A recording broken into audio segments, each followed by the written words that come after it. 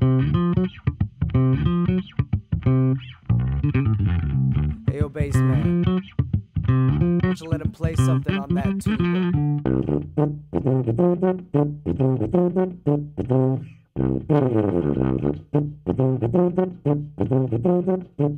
That's more like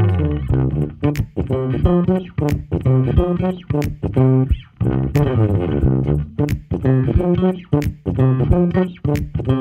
You see?